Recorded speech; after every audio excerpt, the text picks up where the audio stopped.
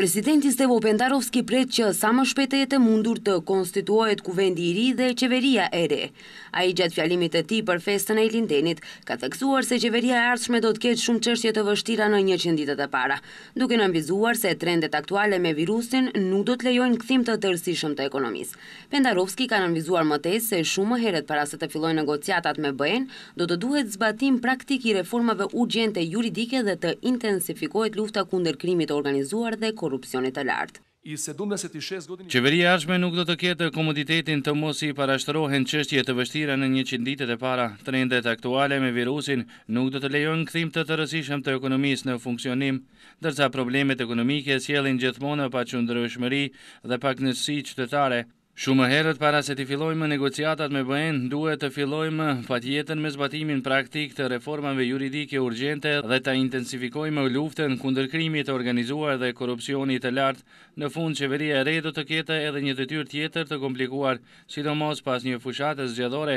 të tillë ku janë shqiptuar akuza të rënda dhe diskualifikime personale të cilat u thelluan dhe më shumë ndarjet midis qytetarëve. Pendarovski theksoi më tej se administrata jofunksionale, korrupsioni i lartë dhe gjyqësori joefikas mbeten pengesa kryesore për integrim të shpejtë në BE dhe pengesa që të bëhet një jetë normale në një shtet të denjë.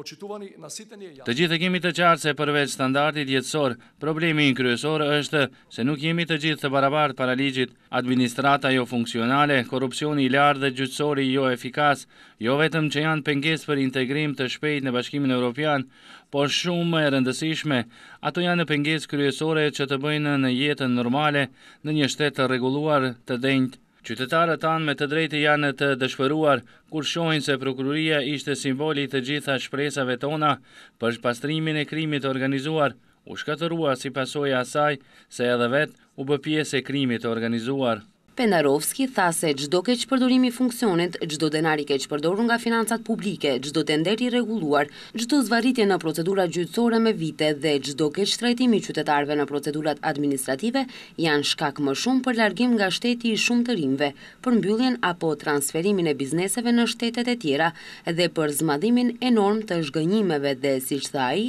radikalizmit të qytetarëve.